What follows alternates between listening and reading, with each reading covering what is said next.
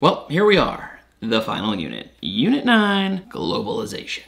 This is easily the most overlooked unit of the entire AP World History Modern course. But check this out 10% of the exam could be on this unit. You can't just skip past Unit 9 like it's just about smartphones and climate change. This is a deceptively large unit. And scrolling through that CED, which I will link one more time below, you kind of get the impression that the College Board higher ups were just kind of throwing a bunch of stuff together at the end of the course. It's not very cohesive. But that's exactly what the Around the AP World in 80 Days countdown is here for. The staff here at Freemanpedia has been combing through the finer points of globalization to give you just what you need to survive. So let's go. We're real close to the end here, guys. You can see the finish line from here. Today, let's review the advances in technology and exchange after 1900.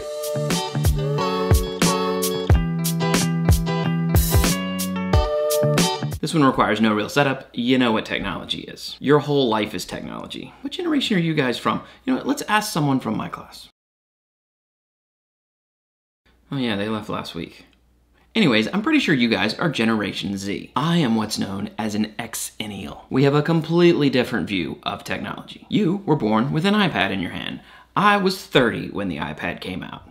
I'm old. But don't make the mistake of thinking this globalization technology section 9.1 is just about modern technology, the technology you have around you right now. This is still the contemporary period, which means 1900 to present. Technically, airplanes are new in this period. The College Board breaks the new technology in the contemporary period down into five different categories. First, communication. This one is easy we are communicating. Imagine trying to explain what you're doing right now to someone from before 1900. Exactly. That's the level of change in communication that takes place in the contemporary period. I made a chart. Most of this is pretty obvious. Radio, telephones, cellular technology, and the internet exponentially increased the speed and amount of communication for humanity. Planes and automobiles made the world smaller by speeding up the rate at which people and goods could travel. But don't forget about shipping containers. That's right your clothes definitely spent some time in a shipping container. 90% of non bulk items shipped overseas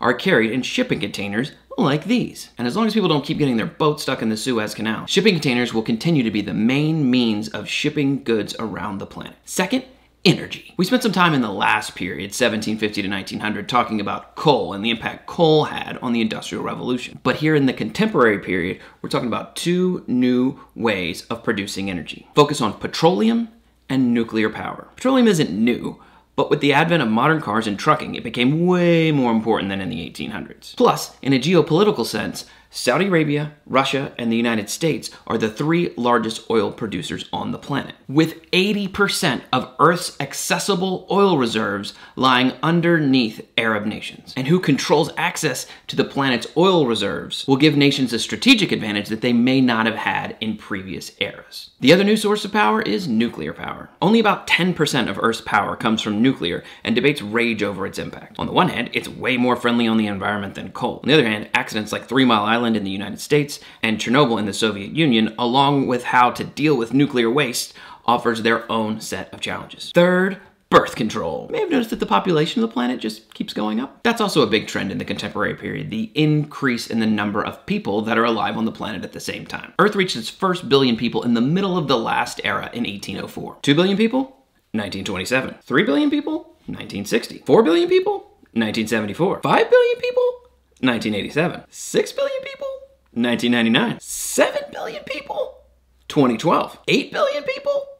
Yeah, we haven't got there yet. But current estimates say there will be 8 billion people on the planet in the year 2027. Now, there've only been about 110 billion people ever in existence. So 8 billion on the planet at one time is a decent sized chunk of all the humans who've ever lived. One way to counter this is birth control. Birth control was initially outlawed in the United States back in the 1800s, until pioneers like Margaret Sanger in the early contemporary period fought for a woman's right to have birth control. And after meeting Margaret Sanger at a dinner party, Dr. Gregory Pincus worked to create the birth control pill. His research found that a certain hormone inhibited ovulation. In 1960, the FDA approved the pill. Fourth, agriculture. Okay, this is code. The only thing they actually mention here for agriculture is really the most important thing maybe to ever happen, and that's the Green Revolution. In the 1950s and 60s, humanity almost ended. And not because of all that duck and cover Cold War fallout garbage your teacher was talking about. We almost ran out of food. So who could save the planet? Norman Borlaug. Never heard of him, huh?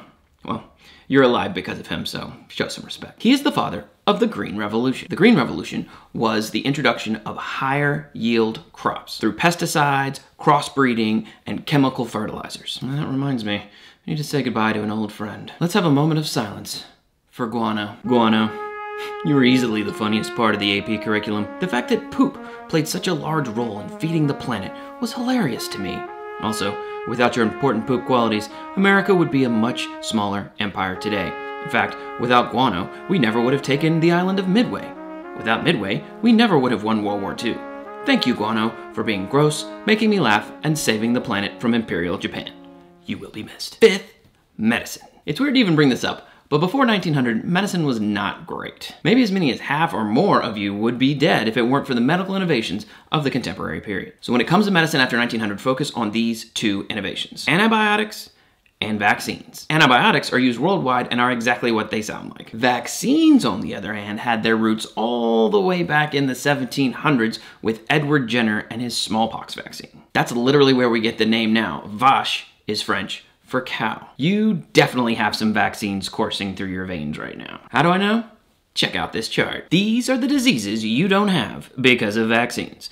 Tuberculosis, diphtheria, whooping cough, yellow fever, typhus, influenza, polio, anthrax, measles, mumps, rubella, chickenpox, pneumonia, meningitis, hepatitis B, hepatitis A, Lyme disease, rotavirus, HPV, malaria, Ebola, dengue fever. So the next time you see some idiot online spouting pseudoscience about vaccines, ask them how their polio is doing or if their tuberculosis is flaring up this week. The length, quality, and standard of living of all humans on the planet has been improved by the advances in medical science and technology in the contemporary period. That's it. Pretty simple right? A lot of stuff that directly affects you every single day. The last thing I mentioned though, medicine, don't think we've cured everything. Guess how many diseases have been completely eradicated from the planet? You're wrong, it's two. The aforementioned smallpox and rinderpest. It's kind of poetic that since cows kind of saved us from smallpox, we saved them from rinderpest. Rinderpest was a disease that affected cows. Speaking of diseases, what were the major diseases that affected and threatened humanity in the contemporary period? See you tomorrow.